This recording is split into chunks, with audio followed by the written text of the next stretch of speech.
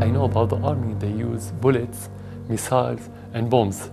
I haven't heard of army using barrels. We don't have barrels.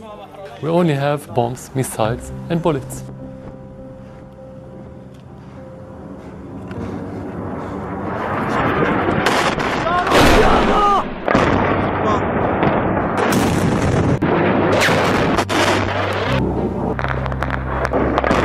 أكبر الله أكبر دارية